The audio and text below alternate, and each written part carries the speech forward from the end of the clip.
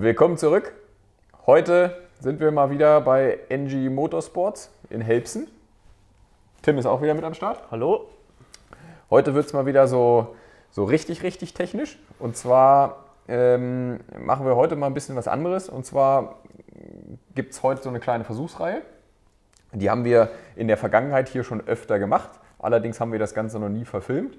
Und jetzt dachte ich, wäre es eigentlich mal an der Zeit, dass wir das euch auch zeigen, weil ich denke, gerade bei dieser Thematik ähm, wird da schon relativ viel Interesse sein. Mhm. Um das Ganze beim Worte zu fassen, wir haben hier hinter uns stehen, was ist das? Eine sogenannte Fließbank, ein Strömungsprüfstand, ähm, ja, auf der wir normalerweise äh, Zylinderköpfe simulieren oder testen, mhm. hauptsächlich Zylinderköpfe. Fließbank heißt? Ähm, es ist eine Messapparatur, mit der man ähm, Luftströmung erzeugt und ähm, simulieren kann und dabei misst, wie viel Luftdurchsatz ein spezifisches Bauteil erreichen kann. Das heißt mit anderen Worten auch, man misst quasi den Verlust, der entsteht. Du misst dadurch auch den Verlust und kannst halt einfach, so wie wir mit unseren äh, Zylinderköpfen beispielsweise oder heute Thema Filter, mhm. du kannst Bauteile gegeneinander messen und dabei feststellen, ähm, erstmal ganz stumpf gesagt, prozentual, wie wirkt sich was mhm. aus, wie wirkt mhm. sich eine Änderung aus, ähm, wie kann ich die, die, die, den Luftstrom optimieren. Mhm. Okay, also da ist quasi, ich sag jetzt mal, unten ähm, ein Lufterzeuger drin, der saugt dann durch eine Blende die Luft und die geht dann hier quasi rein. Das ist ganz stumpf gesagt ein, ein riesengroßer Staubsauger mit furchtbar viel Leistung. Und ähm, du hast die Möglichkeit, wir können das ja an der, an der Fließbank selber auch nochmal ähm, zeigen. Mhm. Du hast halt an der Fließbank grundsätzlich ganz, ganz viele verschiedene Einstellmöglichkeiten. Du kannst die Strömung umlenken, sodass du einmal, bezogen wieder auf Zylinderköpfe, ähm, ganz stumpf saugen kannst mhm. ähm, durch die Fließbank. Du kannst aber von unten auch äh, im Prinzip die Strömung umkehren und rauspusten, wenn du beispielsweise in einem ähm, Zylinderkopf die Auslassseite messen willst. So, und dafür kann man beispielsweise hier so zentral einmal umschalten. Wollen wir jetzt äh, in die eine oder in die andere Richtung den Luftstrom lenken?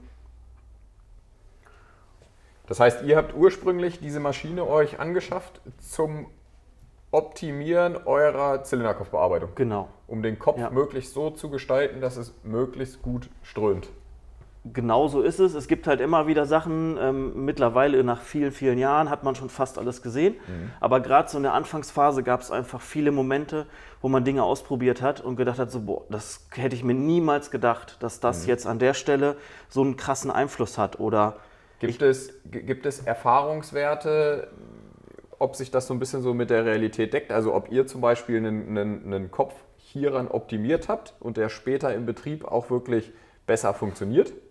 Ja, also ganz abstrakt gesagt, wenn man jetzt einen Zylinderkopf XY ähm, verwendet, ähm, der macht, um einfach nur eine einfache Zahl zu nennen, 100 CFM. Was äh, diese CFM ähm, ist ein Volumenstrom, die die mhm. Fließbank gemessen hat. Wenn ich das Ganze optimiere und 20% raushole auf 120 CFM, dann hat in der Theorie der Motor erstmal die Möglichkeit, mhm. 20% mehr Leistung zu generieren. Wenn aber im Motor nicht der, nicht der Zylinderkopf alleine die, die äh, tatsächliche Engstelle, also die Begrenzung ist, äh, sondern zum Beispiel der Luftfilter oder irgendeine Ansaugbrücke, die davor ist oder eine kleine Drosselklappe, dann kann man diese 20% nicht eins zu eins in, in, Leistung umrechnen. Man könnte es theoretisch, aber man. Aber es ist nur der Idealfall. Es ist der Idealfall und es ist halt immer noch ein System im, äh, im Sinne von Ansaugbrücke, Drosselklappe ist es vorgeschaltet und natürlich auch nachgeschaltet über Auspuffanlage, was natürlich auch irgendwo dann noch einen Einfluss hat. Okay, wir sind heute aber nicht wegen dem Thema Zylinderkopf hier, sondern ich will seit, weiß ich nicht, bestimmt ein, zwei Jahren schon eigentlich dieses Video machen zum Thema Luftfilter, mhm. weil ihr könnt euch wirklich nicht vorstellen, wie krass die Unterschiede in verschiedensten Filtern sind. Deswegen haben wir ja auch ein bisschen was mitgebracht. Wir haben hier heute für euch äh, verschiedenste Sportluftfilter oder Pilzluftfilter, wie man sie auch nennt. Ähm, und zusätzlich, das wird für euch wahrscheinlich am meisten interessant sein, habe ich aus meiner Limo den originalen Luftfilterkasten mitgebracht. So, und selbst hier können wir drei verschiedene Filter testen und können auch diesen Luftfilterkasten mal im Vergleich zu einem offenen Filter testen. Mhm. So, das heißt, wir, die, die Maschine macht jetzt quasi immer den gleichen Unterdruck auf der Unterseite ja, ganz simpel gesprochen, ich gebe der Maschine über diesen Flowcom-Computer ähm, einen ein, ein, äh, Messunterdruck vor, den die Maschine vollautomatisch dann anfährt. Den regelt sie ein und zeigt dann ganz einfach gesprochen erstmal nur den, den, ähm, den Volumenstrom bei, mhm. der eingestellten, äh, bei der eingestellten Druckdifferenz von mhm. Fließbank innen zu Außenatmosphäre. Mhm. Okay. Ähm, ich würde sagen, wir fangen einfach direkt mal an. Ich denke mal, wir werden eh während, den, während des Messens noch genug erklären und das ist am Ende einfach. Ja. So, also das heißt, unser Versuchaufbau ist jetzt eigentlich nur, ich sage jetzt mal, eine Blende, die das Rohr hält und den Übergang bildet zu dem Rohr hin. Ja. Und jetzt zur Sekunde messen wir einfach stumpf ein offenes, abgesägtes Rohr. Genau, das machen wir. Der Unterdruck ist eingestellt. Genau. So, jetzt gucken wir uns einfach erstmal an, was an äh, Flow zustande kommt, ähm, wenn wir auf den gewünschten Messunterdruck, der wird hier, hier links angezeigt, das sind in diesem Fall 10 Inch äh, Wassersäule. Das ist einfach so, man könnte es halt in, ich sag mal, in europäischem Maßstab messen, aber Fließbänke weltweit werden eigentlich immer, äh, sämtliche Fließbankmessungen werden immer in diesen Inch H2O angegeben. Mhm. Ähm, und deswegen tun wir das auch so, weil da einfach auch eine international bessere Vergleichbarkeit möglich mhm. ist. Ich wehre mich zwar dagegen, das ist so ähnlich wie so ein Leistungsprüfstand, eine Fließbank eins zu eins äh, mit den Ergebnissen äh, aus, von Deutschland in den USA zu vergleichen, weil der gesamte Messaufbau so schnell so einen großen Einfluss hat, dass das sehr schwierig ist. Aber trotzdem halten wir uns wenigstens an die, ich sag mal, US-amerikanische mhm. Vorgabe. So und ähm, ich schalte das Ding mal ein, dann gucken wir mal, was das, was das Rohr als, äh, als solches einfach abgeschnitten macht.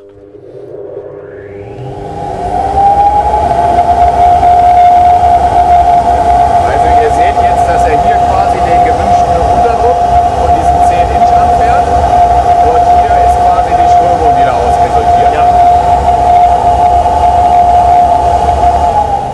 Was man, was man, ich weiß nicht, ob das später rüberkommt, man hört so, so ein gewisses Heulen jetzt, also was rein, rein akustisch, hört man eben schon, dass hier Verwirbelungen stattfinden. Mhm. So, das hat natürlich auch mit dem scharfen Eintritt hier des Rohres zu tun. Hier ist ja kein, kein Trichter mhm. oder so, es ist einfach nur ein stumpf abgesägtes Rohr und das mag die Luft eben auch grundsätzlich mal gar nicht. Das heißt, ähm, wir haben jetzt mit dem offenen Rohr, waren ungefähr wie viel? 437, 438. So, dann wir notieren das Ganze mal. Offenes Rohr. 437 CFM. Vielleicht CFM, kannst du genau. den Zuschauern noch mal kurz erklären, was bedeutet überhaupt CFM? CFM ist Abkürzung für ja, US-amerikanisch Kubikfuß pro Minute. Mhm. Also im Prinzip steht das für einen, äh, für einen Volumenstrom. Mhm. Okay, das heißt, wir haben auf der Unterseite einen festen Unterdruck und messen dabei das Volumen, was einfach durchgeht. Genau. Okay, ja. ich denke, so könnt ihr euch jetzt schon ein bisschen besser vorstellen, was wir hier machen. Als allererstes fangen wir jetzt mal mit einer Messung an und stecken einfach nur auf dieses offene Rohr einen, ich sag jetzt mal, einen Reduzierschlauch, der einfach von 76 auf 100 ausgeht, weil wir dadurch halt schon mal einen leichten Trichter da drin haben. Ne? Mhm.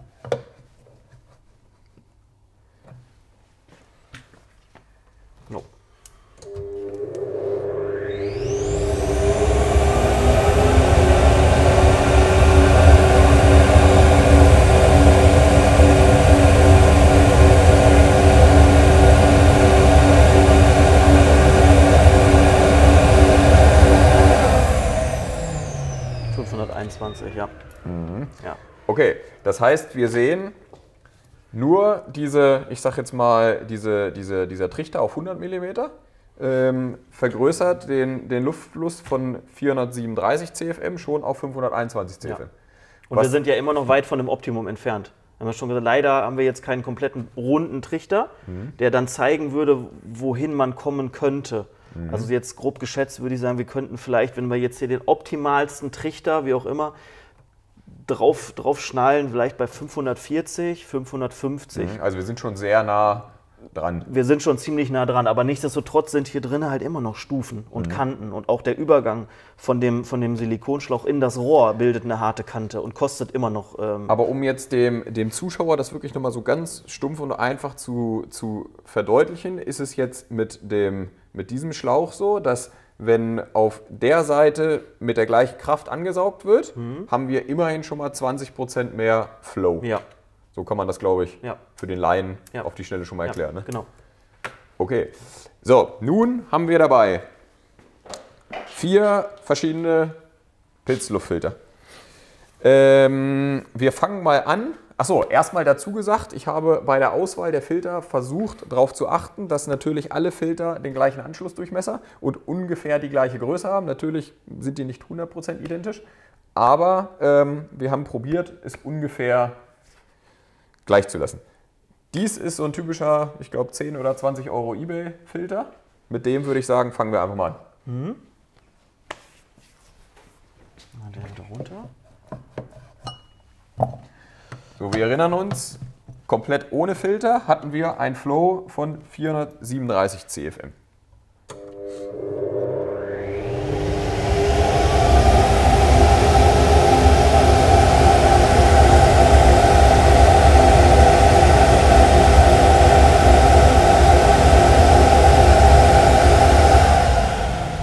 Vier 444, 445.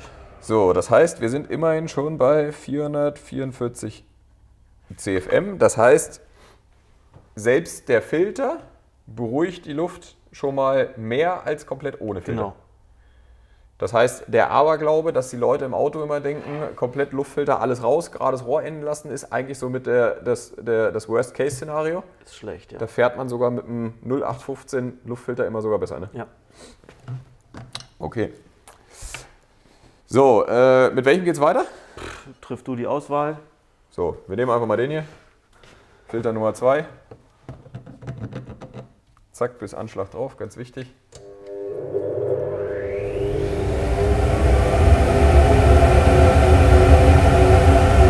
Ich weiß nicht, ob man es später hört im Video. Du hörst halt jetzt schon rein akustisch, dass sich das Ganze komplett anders anhört. Viel ruhiger. Ruhiger, ja, es also hört ohne. ruhiger an, ja. Ja. Hier 97.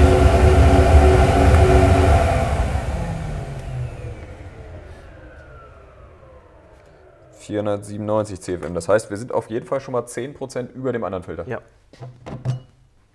Wir können ja die mal in der richtigen Reihenfolge hier stehen lassen. Filter. Nummer 1, 2. So, jetzt geht es weiter mit Filter Nummer 3. Unterschied bei Filter Nummer 3 ist, der hat auf jeden Fall schon mal hier, ich sag jetzt mal, einen, einen, eine erweiterte Filterfläche durch diesen Konus in die Richtung. Und er ist auch gefühlt ein Atömchen größer.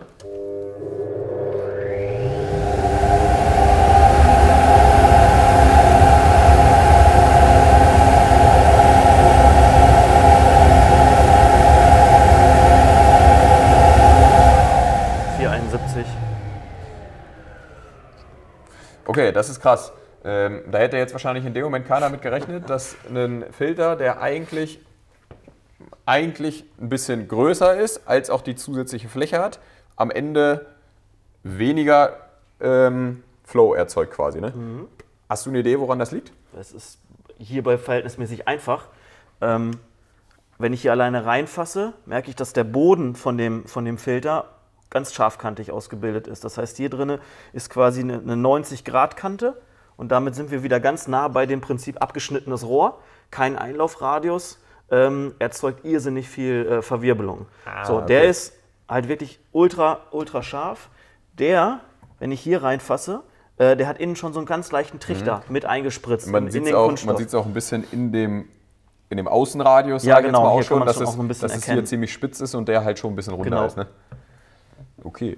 Äh, dann kommen wir zu Filter Nummer 4, welches auch unser Favorit ist und ich sag mal auch schon leicht optimiert auf das Ganze ist.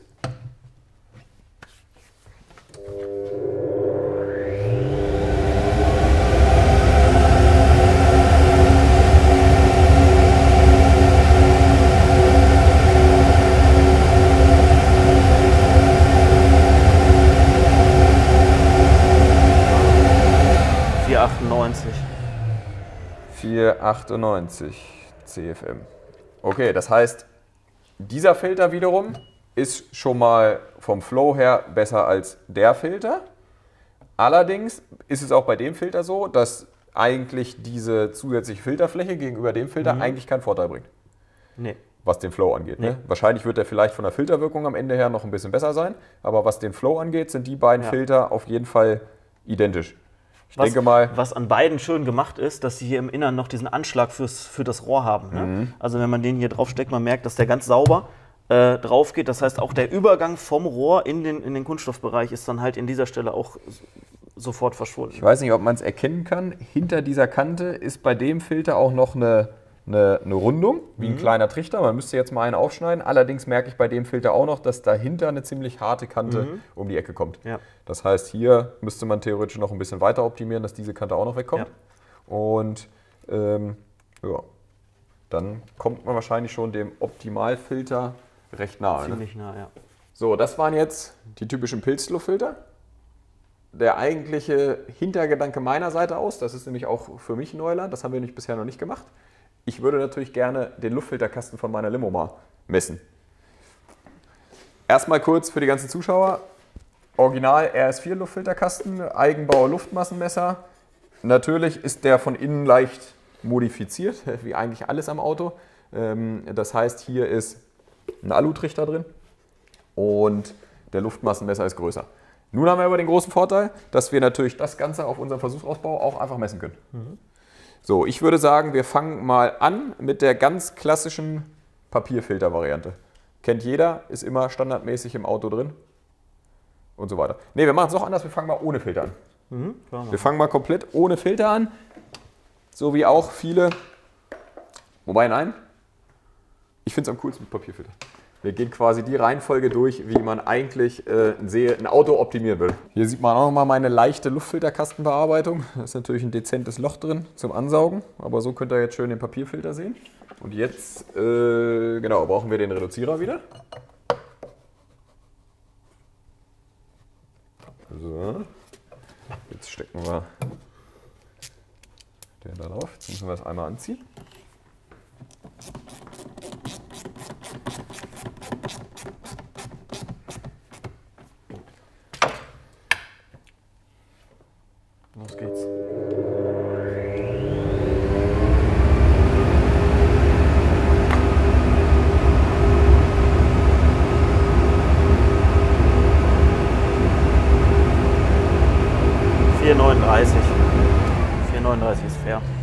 Also man hat jetzt auf jeden Fall ganz extrem gehört, wie es natürlich viel, viel leiser und ruhiger Ja. wird.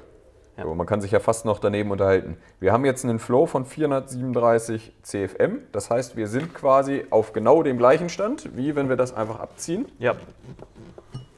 und so messen würden. ja.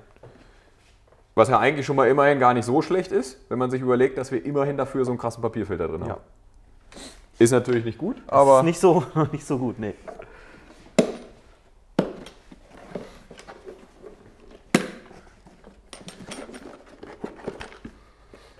So, nun tauschen wir den Papierfilter gegen ein, ich glaube, ein Baumwollfilter ist das, ne? Wenn ich mich nicht täusche. Ich meine, das ist Baumwolle. Ein Baumwollfilter.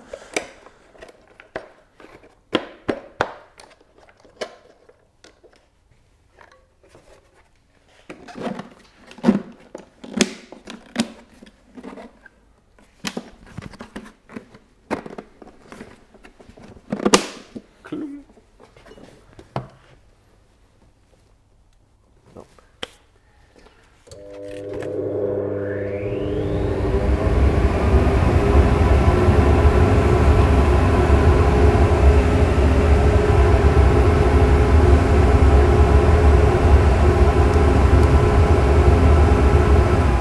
Vier vierundsechzig.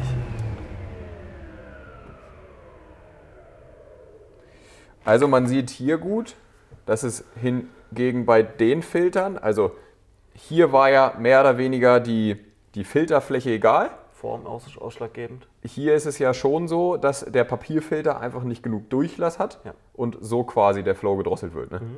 Der hat schon mal ein bisschen mehr Durchlass, ähm, somit geht der Flow auch nach oben. So, jetzt gibt es äh, Premiere im deutschen Fernsehen. Äh, den Luftfilter, den ich eigentlich in meinem Auto fahre, in der Limo. Der wurde bisher nirgendwo gezeigt, weder auf irgendwelchen Fotos, äh, irgendwelchen Livestreams oder, oder, oder. Ähm, das ist nämlich ein ganz spezieller Filter. wie er auch wirklich im richtigen Rennsport zum Einsatz kommt, zum Beispiel in der MotoGP. Ähm, das ist ein angefertigter Filter. Der hat natürlich kaum noch Filterwirkung, weil ähm, hier ist einfach nur ein Sieb hinter. Dieses Sieb ist aber mit Absicht quasi quer zur Strömungsrichtung, um A halt ein bisschen mehr Fläche zu erzeugen und dass der Dreck, der dann wirklich durchströmt, da auch drin hängen bleibt. Ich habe mal nicht sauber gemacht, man sieht tatsächlich, wie ein bisschen Dreck äh, drin hängt. Aber das Besondere von diesem Filter ist die andere Seite. Wir haben hier eine Wabenstruktur, die quasi die Luft hinter dem Filter nochmal beruhigt, was halt besonders wichtig für mein Luftmassenmesser ist. Funktioniert auch wirklich extrem gut. Man merkt es schon, als ich damals die Filter getauscht habe, beim ersten Start merkt man schon, wie der Motor einfach ein Atömchen früher ähm, anspringt, weil er halt einfach die Luft im Luftmassenmesser schneller richtig messen kann, so würde mhm. ich es jetzt mal formulieren. Halt, ne? mhm. Und jetzt bin ich natürlich umso gespannter, äh, wie der Filter funktioniert.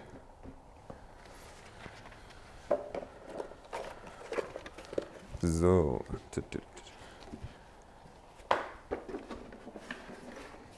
Den gibt es übrigens nicht zu kaufen. Ich hatte kurzzeitig überlegt, ob ich da eine kleine Serie von anfertigen lasse. Ähm, mal gucken, wie die Resonanz so ist. Vielleicht kann man sich ja das doch nochmal überlegen. Aber wie ihr immer wieder sieht, an dem, seht, an dem Auto ist wirklich nichts, äh, was dann am Ende wirklich dann doch original oder vielleicht wie bei wem anders ist. Da haben wir schon wirklich viel, viel Gedanken uns zugemacht. Ne? So, jetzt aber weiter hier.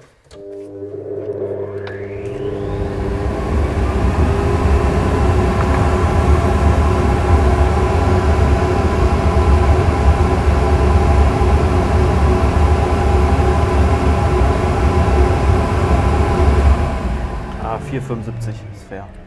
4,75? Ja. Okay, wundert mich persönlich jetzt nicht, dass der besser funktioniert als der Baumwollfilter. Sonst hätten wir nämlich verdammt was falsch gemacht. Damals. Ähm, cool. Das heißt, wir sind jetzt schon immerhin fast auf einem ähnlichen Niveau wie so ein Pilzluftfilter. Mhm. Ein bisschen Differenz ist noch. Am wie, wie, wie ein guter Pilzluftfilter. Also wie, ein guter. wie ein guter. Ne? Ja. Am interessantesten wird es jetzt natürlich, wenn wir einfach dieses Konstrukt wahrscheinlich mal ohne Filter messen, mhm. um einfach mal gucken, was, was, ob der Filter jetzt gerade noch eine Drossel ist ja. oder ob er schon gar keine Drossel, Drossel mehr ist.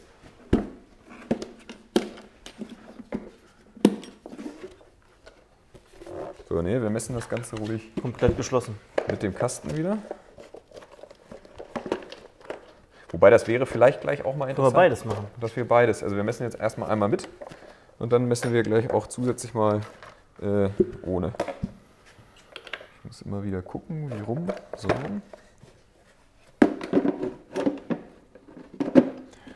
Da werden sich jetzt bestimmt viele an seine, viele an ihre Mofa-Zeiten früher erinnern, wo man hier einfach so einen Darmstrumpf ja. zwischengespannt hat.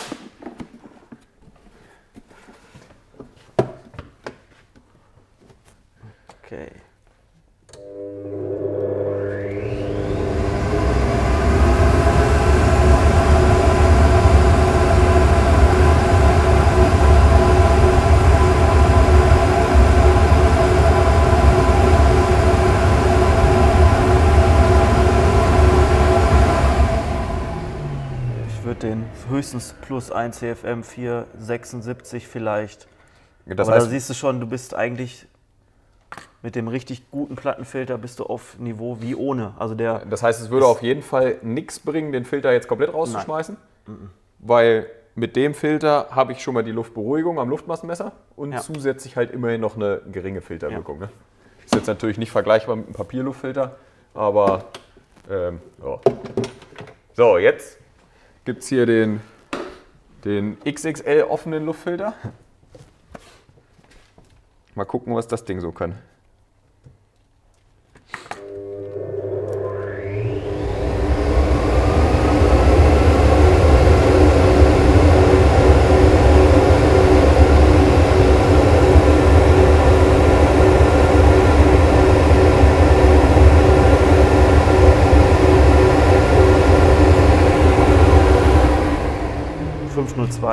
502. 502? Mhm. Okay, das Ganze ist jetzt natürlich so richtig interessant. Das heißt, für mein Anwendungsprinzip ist theoretisch die Drossel der untere Kasten. Da lohnen sich vielleicht noch ein paar extra Löcher. Noch ein paar Löcher mehr ja. rein. Äh, dann habe ich jetzt aber zur Sekunde noch eine Idee. Dann messen wir doch jetzt einfach mal so Ja. jetzt den Filter noch Ja. drauf. Dann müssten wir eigentlich alles einmal durchgemessen haben.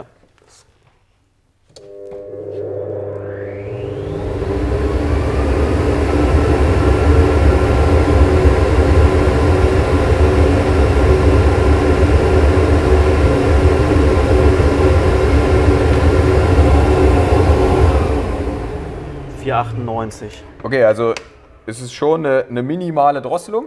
Wenn man es prozentual ausrechnen würde, Aber ist, nur es, marginal. ist es quasi nichts Aber mehr. was halt jetzt natürlich noch umso entscheidender ist, ist halt ähm, der Unterschied wirklich mit dem Filter mit Kasten drauf und ähm, quasi ähm, ohne den Kasten Ja. drauf. Ne? Das heißt, da ist definitiv noch, noch, was zu holen. noch was zu holen. Okay, das ist schon mal gut zu wissen. Ja, also Aufgabe erkannt. Ich werde in naher Zukunft dieses Plastikteil weiter optimieren. Ich kann jetzt schon dazu sagen, man sieht schon an der Rundung, viel Platz ist da im Motorraum leider nicht. Viel gehen wird da nicht. Ne? Aber äh, man müsste sich aber das Motorraum mal angucken, ähm, an welcher, ob es Sinn macht, einen gewissen Bereich jetzt weiter auszuarbeiten. Mhm. Dass wenn man dem jetzt mehr oder weniger seitlich noch eine Öffnung gibt, eine, eine Querströmung würde Mhm. ich glaube ich nicht so gut finden. Man muss einfach gucken. Ähm, können wir uns ja noch mal ein bisschen Gedanken zu machen. Also der sitzt halt prinzipiell sitzt der so da drin. Hier ist Radhaus und hier ist Motor. Also nach hier wird wahrscheinlich eher kontraproduktiv wegen Krümmer und so weiter Ja. sein. ich meine, selbst hier hast du in der, in der Ecke hast Ja. du ja noch ein bisschen, ein bisschen Potenzial, Fleisch. ne? Wenn wir jetzt gerade bei den Filtern gesehen haben, wie entscheidend es ist, dass da wirklich keine Ecken und Kanten sind, muss ich auch ganz ehrlich sagen, äh, war das eher semi-professionell, wie ich das so ausgesägt habe. Ich sag mal so, brauchst du diese Gewinde hier drin? Ja, das ist, wird wahrscheinlich nicht mehr messbar sein, aber ich würde sie rausnehmen. Ja, ja. Weg damit. Nee, cool. Ja, geil. Ähm, ja, das war so ein bisschen mal, um euch zu verdeutlichen, was halt so technisch geht, wo man sich Gedanken drüber machen kann, was man auch immer, was ich halt immer cool finde, ist, wenn man sich erst was überlegt und es dann auch noch belegen kann. Das finde ich halt ist auch immer ein cooler, cooler Nebeneffekt. Ähm, jetzt haben wir eure Flowbench schon mal genutzt. Jetzt eine Sache haben wir noch, die zeigen wir euch kurz, um nochmal so ein absolutes Negativbeispiel zu zeigen. Und zwar nehmen wir einfach so einen schönen, ich, sag, ich nenne ihn jetzt mal Belüftungs- oder Ansaugschlauch. Ähm, den können wir da auch ganz einfach dran stecken. Und können euch jetzt einfach mal ein bisschen ähm, den Flow zeigen, wenn wir einfach nur das Ding ein bisschen abknicken und so weiter. Ne?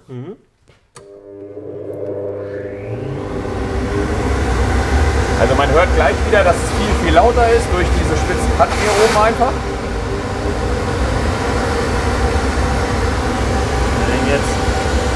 Interessant ist auf jeden Fall, wir sind jetzt schon mal ähm, schlechter als nur das offene Rohr. Ja. Also der, der, das Rohr muss über die Länge dann doch so einen Verlust erzeugen, Ja. dass wir definitiv da drunter sind.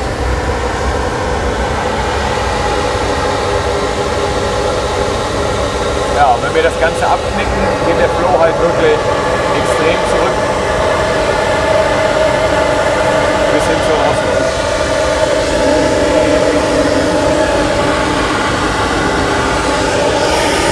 Was aber extrem interessant ist, wenn wir jetzt einen Filter draufstecken, achtet mal, was passiert.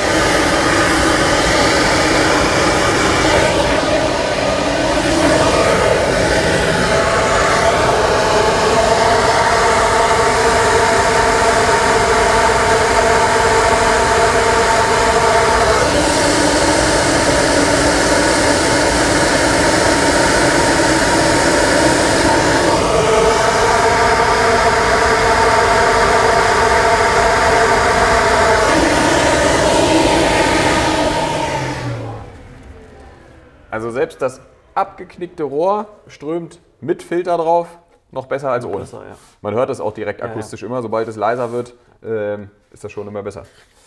Ja, cool. Also auf gar keinen Fall so bauen. Sollte aber auch jedem vorher klar sein, dass das nicht das Optimum ist. Ähm, ich finde es eine coole Sache. Ich denke, jetzt kann sich jeder zum Thema Luftfilter ein bisschen was vorstellen. Gerade so, wenn es auch um ähm, einen Luftfilterkasten geht. Weil so wie man jetzt gesehen hat, ist ja ein Luftfilterkasten gar nicht mal unbedingt immer von Schlecht, Nachteil. ja. So, weil man muss jetzt auch eine Sache muss man auch dazu sagen, deswegen ähm, kann man das nicht so ganz jetzt auf den reellen Vergleich, ähm, ich sag jetzt mal, anwenden. Der Luftfilterkasten ist jetzt natürlich auch länger.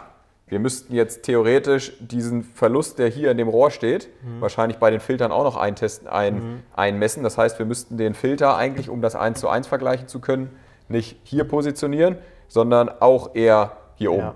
Und dann wäre im Zweifelsfall der Luftfilterkasten sogar auf dem gleichen Niveau wie so ein Pilzluftfilter. Ja. Ne? Aber ich glaube, wofür man diese ganzen Messungen auf jeden Fall nehmen kann, ist, um halt die Filter bei gleicher Anwendung untereinander zu vergleichen. Genauso wie unser Beispiel Papierfilter.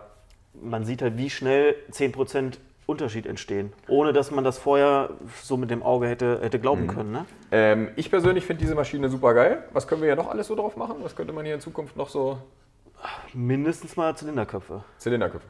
Also.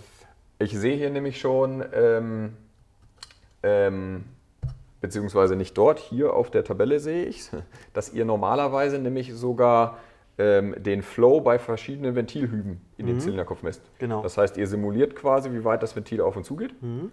Und Dings. Ich denke, bei dem Thema belassen wir es jetzt auch super interessantes Thema. Ich denke, da müssen wir auf jeden Fall noch ein Video zu machen. Mal gucken, in welcher Konstellation, zu welchem Thema. Wir haben ja noch so ein paar Optimierungen mhm. diesen Winter vor uns. Ja. Und dann danke, dass die Maschine zur Verfügung gestellt hast. Sehr gern. Ich hoffe, du bist mit dem Ergebnis auch zufrieden. Ich fand es, also es ist das, was ich so ein bisschen erhofft, erwartet hatte und ich fand es halt schön anschaulich, ne? dass mhm. man die Werte wirklich mal zeigen kann und ähm, ja. Dann wünschen wir euch allen ein gutes Rest 2018. Genau. Und wir sehen uns auf jeden Fall nächstes Jahr bei NG Motorsport wieder. Ciao. Ciao.